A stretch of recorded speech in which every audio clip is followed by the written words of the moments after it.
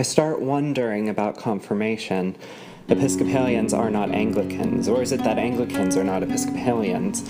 This was easier when I was Baptist, when it was just about joining the people you liked the best and agreed with the most. The Eucharist changes all of that. You're all suddenly at the same table, and you have to ask less about rightness and more about where best you pray. I realize that I am starting to think of myself as not Baptist. I realize I haven't been Baptist for a long time.